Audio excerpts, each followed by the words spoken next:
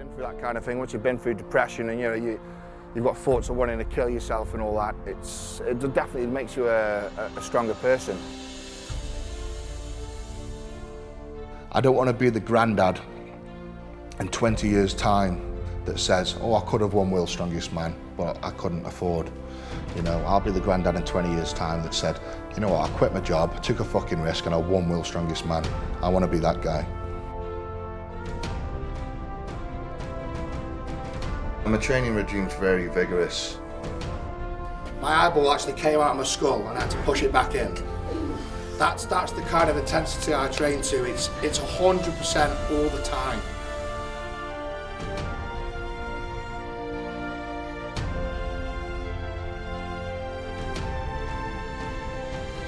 I get in the gym at sort of five, six o'clock and I'll stay in there until I'm done. There's no, there's no fucking about.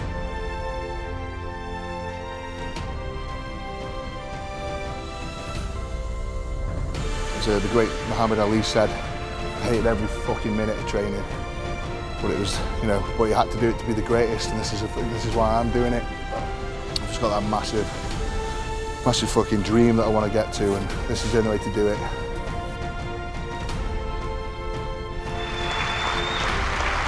And to stand there and to be handed the trophy and beat Britain's strongest man, I've proved a lot of people wrong now and it's made me really happy and it makes me want to go on and prove more people wrong.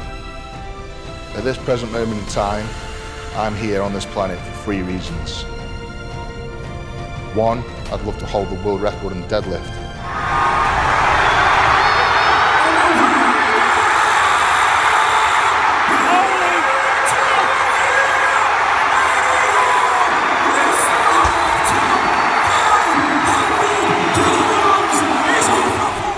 Two would be to meet Arnold Schwarzenegger, you know, one of my lifetime heroes. I heard the crowd getting louder and louder and louder.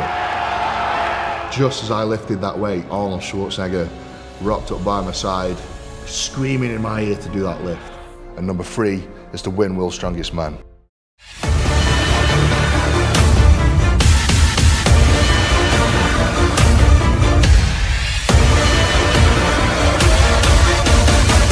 I go into every contest to win it. I don't go to come second place, I go to win.